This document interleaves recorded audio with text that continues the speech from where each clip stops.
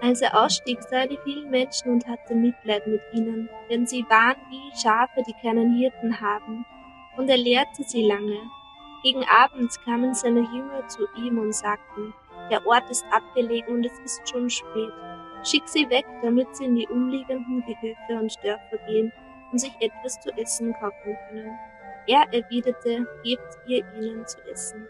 So oft glauben und meinen wir, dass Jesus die Dinge viel besser kann als wir und dennoch ist er derjenige, der uns immer wieder zu den Menschen ruft und sagt, gebt ihr ihnen zu essen.